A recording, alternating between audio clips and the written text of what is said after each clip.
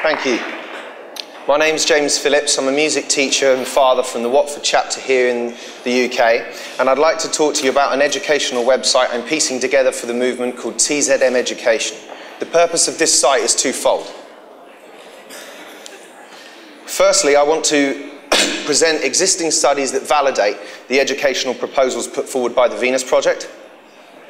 And secondly, is to collaborate with and help movement members to communicate these ideas with young people currently in mainstream education, to help them to start to think differently about, the, about learning and the world in which they live by presenting the educational notions proposed in a resource-based economy.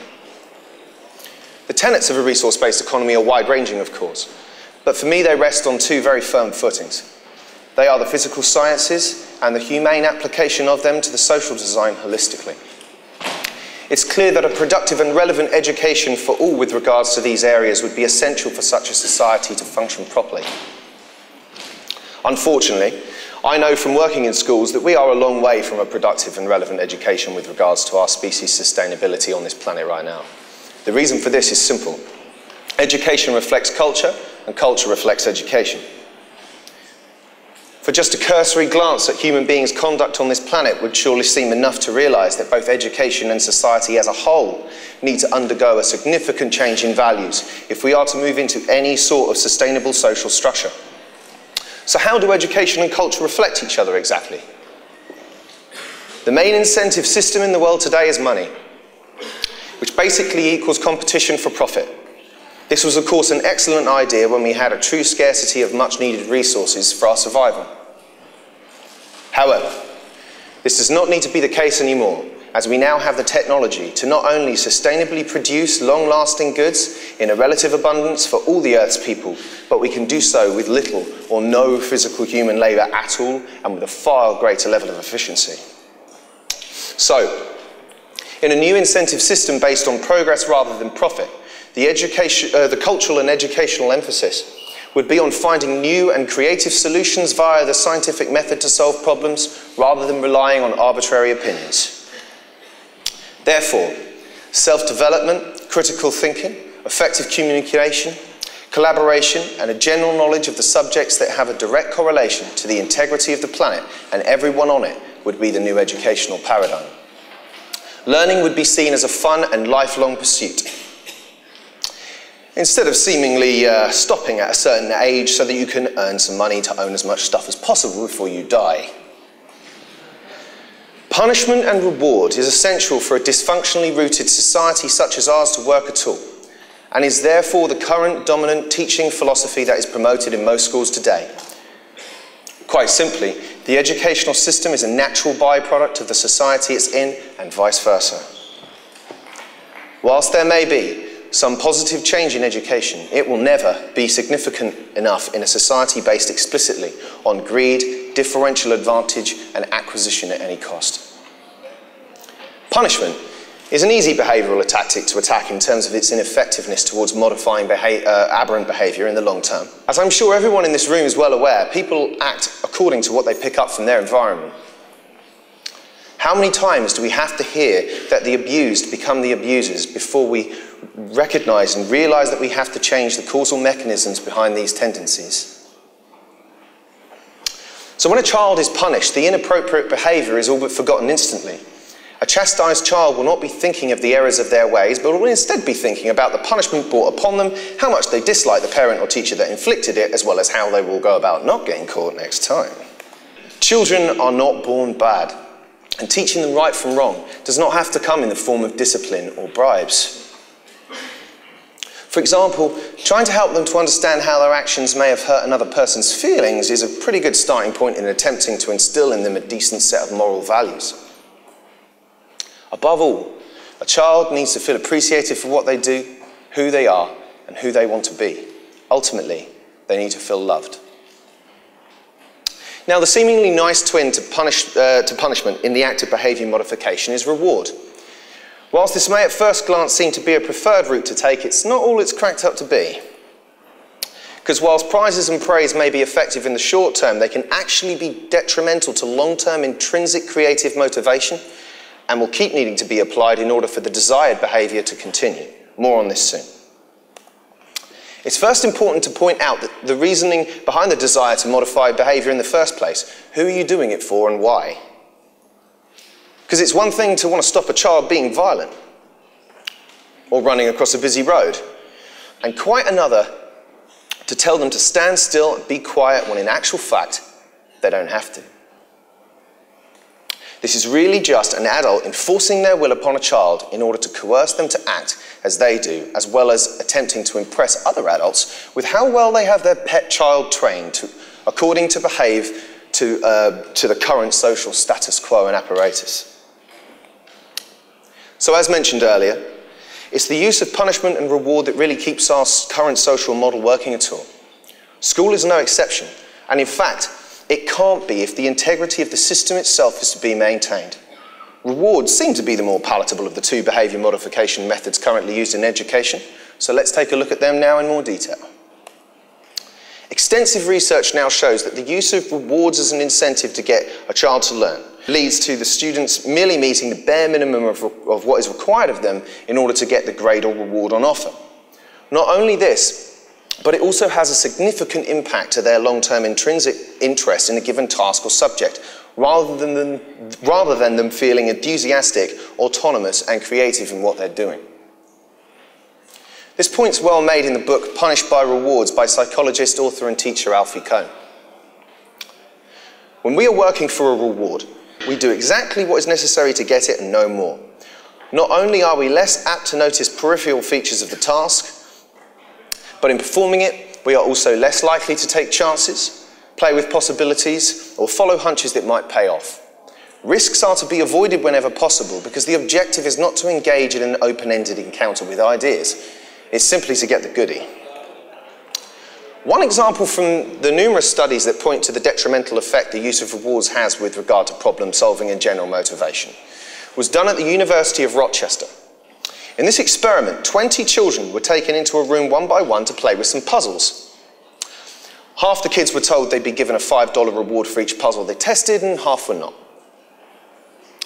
Once these puzzles were completed, each child was left alone in the room for a few minutes and observed via a hidden camera.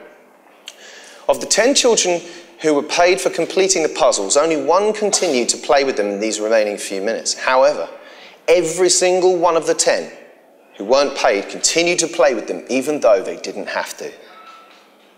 Hopefully, this study and many others, much like the uh, work of Daniel Pink, who's well recognized in, in, our movement, I'm sure some of you may be familiar with, with his work. Uh, hopefully, this and other studies should make this point abundantly clear. Rewards kill long term intrinsic motivation.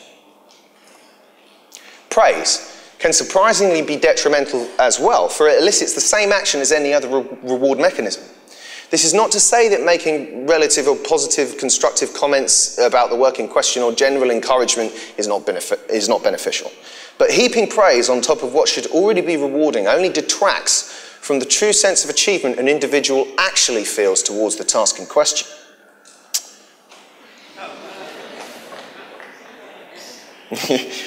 uh, the student then also starts to become dependent on praise from an authoritarian figure in order to feel motivated to apply themselves to future tasks.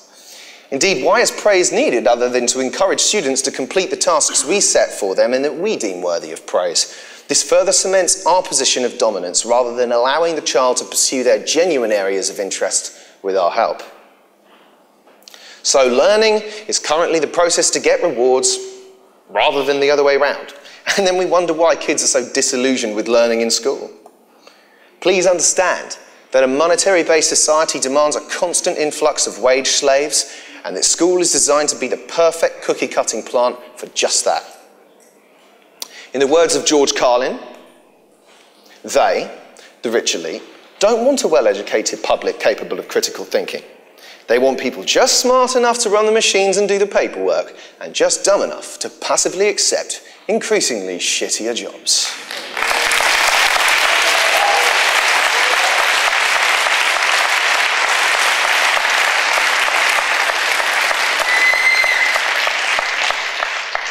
This is what our system produces competitive, manipulative gaming strategies as a mode of survival. Then, in the same breath, we try to teach our kids to be nice and share. And we wonder why an ever increasing amount of them are on or go on to being on antidepressants later on in life. Could it have anything to do with the fact that adults do the exact opposite of what they teach their own kids to do in their own day to day lives? So when a child, and you might, might have done this, I know I did, and, and that's why I had a very turbulent school career. Um, so when a child in school asks the teacher, why do I need to learn this? Or how will I need this later on in life? The teacher replies, of course you need it, or because you have to. This masks the fact that the real answer is that in a streamlined job market, you probably won't.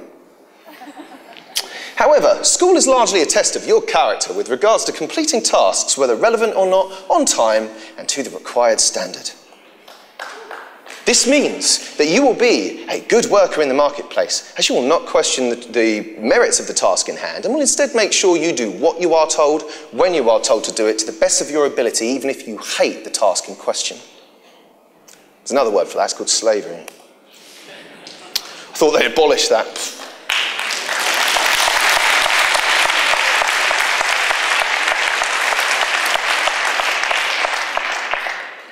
Remarkably, there are certain rule free schools actually in existence today. Whilst these would not be the same as in a resource based economy, they do provide evidence to suggest that a more liberating approach to education can increase the intrinsic desire of the student to learn. Two examples of this to check out would be the democratic school system in the States and the Summerhill School here in the UK. At these schools, teachers and pupils arrive at decisions together, and children do not have to go to lessons if they don't want to. Now you'd be forgiven for thinking that these children would not be able to reach a decent academic standard at such schools and would simply muck around all day, but you would be wrong. Because the fact is that the kids at these schools attain the necessary GCSE results even though they don't have to. More importantly, in all the independent reports done on these schools, the kids are found to be absorbed in learning, happier, creative, have a strong moral sense of right and wrong, a good community spirit, a fantastic ability to communicate constructively in general conversation. This shouldn't be a surprise. Kids are born with an inquisitive nature to learn about the world around them. They don't need to be forced. is isn't their fault that the lesson's so drab, uninspiring, and utterly boring that they've switched off. Maybe it could be that the child was not given a choice in how they would like to learn the topic in question. Or perhaps it's because the teacher is really thinking of the money he or she will be paid at the end of the month and hitting academic targets rather than making the content of what is actually being taught relevant and interesting.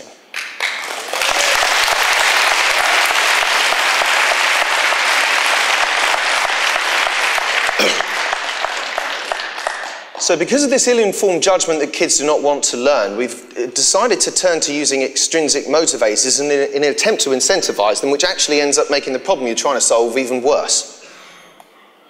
Therefore, I have a collection of activities and presentations at the site that members themselves can take into their local schools to start informing the adults of tomorrow about the ideas behind a resource-based economy so we can start to help to show them that learning should be cherished and never a chore.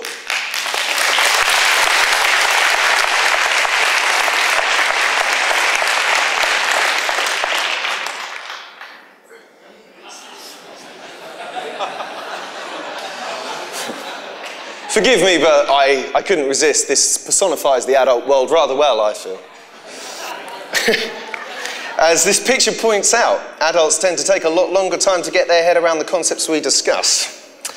For the most part, they've been surviving by doing the exact opposite for so long that the thought of questioning their current social status quo and apparatus seems completely asinine to them, regardless of its merits.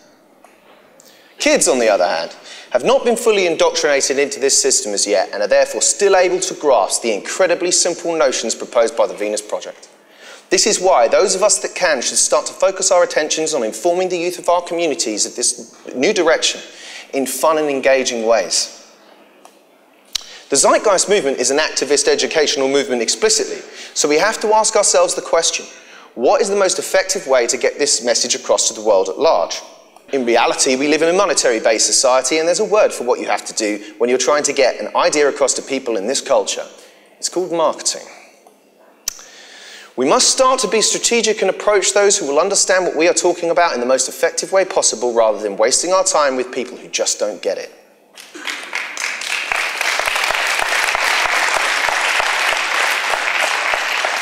I'm not knocking any form of communication per se, although I would say even myself that I spend too long on the middle one. or suggesting that we shouldn't answer our critics, far from it.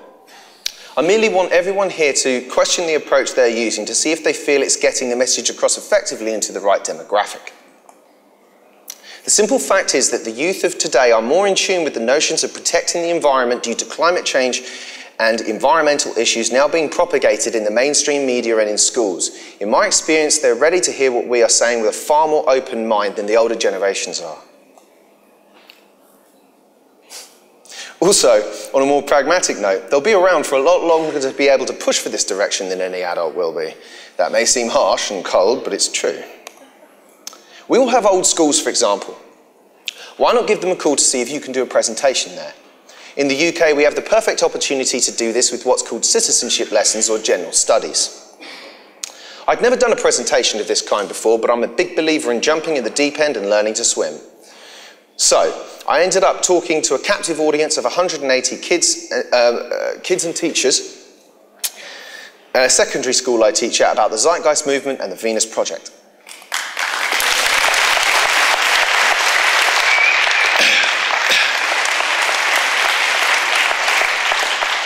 And, and, here's the bottom line. The bottom line is that if even 200,000 members of the Zeitgeist movement did this and went to just one school and talked to 180 kids as I did, then we could potentially reach approximately 36 million young adults about to enter this system.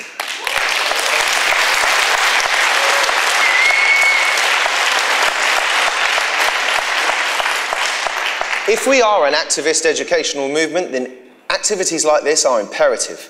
We must make sure we are walking the walk and not just talking the talk, myself included. That is why I've been into several schools to do everything from playing collaborative games with seven year olds to giving full presentations on the Venus Project to 17 year olds. One example I'd like to share with you is a game I played for the 5 to 10 age range where you take three hoops and put them in a row at equal distances of a few metres apart. In the middle hoop, you have an uneven number of bean bags, and at the other hoops, you have an even number of kids per side. The rules are that you have to get as many bean bags in your team's hoop as possible, and you're only allowed to carry one bag at a time. Other than that, try not to kill each other, but anything goes. I'm sure you can imagine the chaos that ensued. Before long, there were bean bags up jumpers, throwing the bags from the middle hoop to their own, and all sorts. Occasionally, I'd stop the game and count up the bean bags, and, the, and the then the team with the more bean bags, you know, as they were cheering their supposed victory, I would remind the opposite team that the game was not over, and the chaos would start all over again. After a while of this, I stopped the game and asked them how long this could go on for, to which, of course, they replied, forever. I then asked what the solution was, and one child got it. Anybody got any ideas? Sorry? Joint teams. Yeah, you're going in the right direction. Hey! got it. Put all the hoops together and put the bean bags in the middle. The only way to win was to share, and the seed has been planted, so to speak. I think this game personifies our current social paradigm rather eloquently myself. We could stop the game anytime we like. So ideas like this.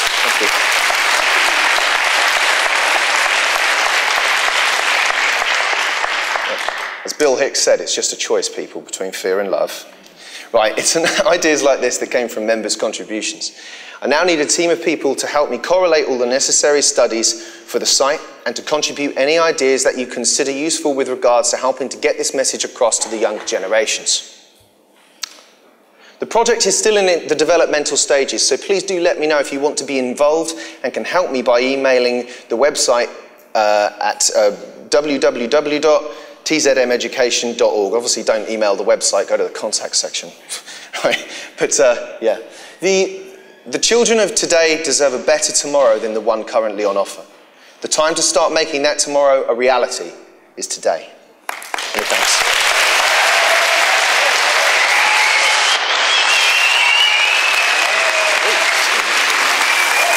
Hello? Yeah. A magnificent Jim Phillips.